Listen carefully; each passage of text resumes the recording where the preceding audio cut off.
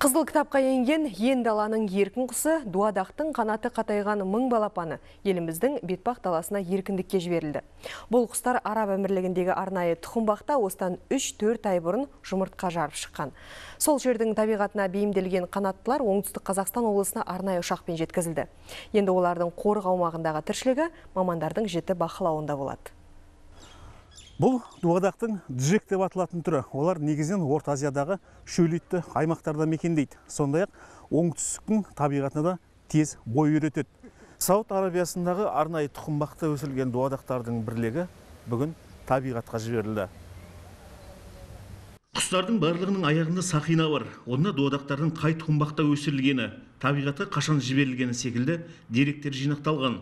Бұл олардың тіршілік ету ортасы туралы мәлімет алуға және соның негізінде ғылыми зерттеулер жүргізуге мүмкіндік береді.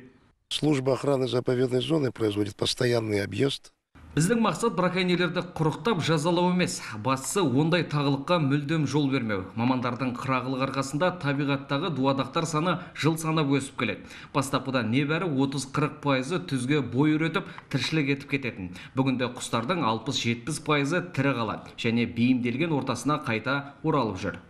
Саны азайып кеткен құсты қолдан көбейту Қазақстан мен Араб әмірлігінің бірлескен жобасы. Соңғы 10 жылдың ішінде 11 мыңнан астам дуадақ табиғатқа ұшырылған. Жыл сайын мынау санақ жүргізілген нәтижесі бойынша мынау өзі қызыл кітапқа жойылып кету өзінің категориялы бөледі. Аса қауіпті жаңағы қауіпті одан кейін орташа қауіпті дейді. Біз мынау екі мыңыншы жылдардан бері бұның көрсеткіші қазір орташа қауіпті деңгейге жетті. Яғни бертін келе болашақта бірнеше жылдан кейін қызыл кітаптың тізімінен шығып қалуы мүмкін. Бір ғана оңтүстік қазақстан облысына салынған арнайы тұқымбақта қазір үш мыңға тарта керім құс тіршілік етеді. Олар жылда екі мыңға тарта балапан басып шығады. Мұндай тұқымбақ тағы марокко мен сауд арабиясында да бар. Осындай қамқорлықтың арқасында бүгінде табиғаттағы дуадақтардың саны елу есеге көбейіп отыр. Ғани қалмаханов нұрлан нұрбек қазақстан ұлттық телеарнасы оңтүстік қазақстан облысы.